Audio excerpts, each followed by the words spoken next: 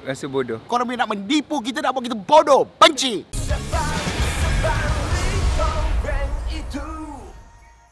Oh hai siapa di sana? Yo, selamat datang ke Unmas Singer on the go. Anda bersama saya Saiful Said. Ha, kita nak tanyakan kepada peserta yang tersingkir tu yang pakai maskot macam mana pengalaman dia orang dirahsiakan di TT sebagai VVIP. Katanya kita nak hantam dia orang, kita nak taruh dia orang. Ha.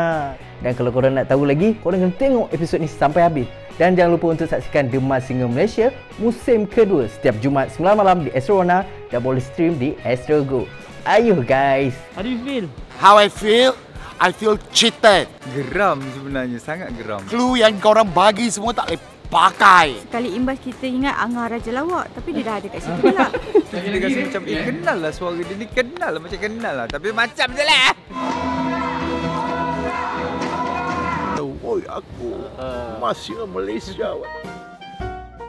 Ha. Angah pun tak dapat cam. Tak tahu lah, Angah sebenarnya aku dah target dia tahu kot. Dia mesti tak fokus aku nyanyi. Tapi itulah, bila kita dah recording, suara jadi lain. So, suara aku mungkin jadi lagi sedap daripada yang bercakap biasa. Mana tahu kan? Belajar daripada rakan-rakan yang pernah berpengalaman kan Korang memang sengaja nak nak buatkan kita juri semua bodoh. Clue dia lah, menyampal lah. Macam tak boleh nak teka Korang nak menipu kita nak buat kita bodoh. Benci. Susah belajar dengan dia orang ni Itu sebab diorang tak boleh teka. Sebab bila diorang teka salah je, saya kat dalam tu macam, Ha.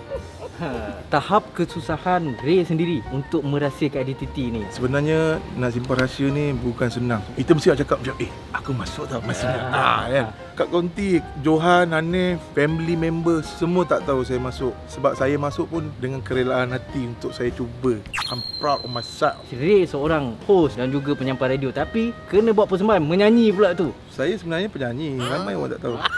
tak adalah. Untuk menyanyi tu memang tak adalah kat dalam jiwa ni. Tapi bila kita cuba buat, cikgu train saya untuk nyanyi ni semua kan. Dia kata you got voice, you lontarkan, you boleh nyanyi. Ha, itu yang membuat kita lagi confident dan semangat. Ada di antara mereka ni yang memang kita tak pernah dengar dia orang menyanyi pun. Saya pernah cuba AF. Saya tak pernah cuba mana-mana pertandingan besar-besar pun. Pertama kali yang saya masuk dan tak kisah tersingkir bila-bila pun tapi melakukan tugas tu bukan senang sebenarnya. Nyanyi dengan kostum bila muka ditutup, badan ditutup, berpeluh apa bagai semua tak ada siapa tahu pun. Saya punya kostum dia tertutup rapat dan padat tau. Ah, Bila saya pakai dia punya ruang dah sampai dekat bahagian mulut. Bila saya berjoget dia dah naik sampai ke hidung. So dia punya pernafasan dia dah sangat limit. Bila dah TX, apa rasa reaction rakan-rakan nanti? Ah, padam ke kau keluar minggu pertama? Aku dah tahu apa dengan Johan dengan Neo kan. Dia memang jenis tak support member kan. Kenapa orang ramai perlu menyaksikan The Mas Singer Malaysia musim kedua? Sebab saya tersingkir minggu pertama. Ke semua kontestan semua bagus-bagus. Salut. Saya duduk kat dalam bilik persalinan, tengok skrin. Eh, tersingkir aku malam ni. Lala betul-betul ada orang masuk nak make up eh, nak standby. Itu nama kostum ataupun uh, peserta yang dia rasa boleh juara. Rasa semua orang boleh jadi juara pun. Nampak selamat sangat. selamat sangat. The Mass Singer Malaysia.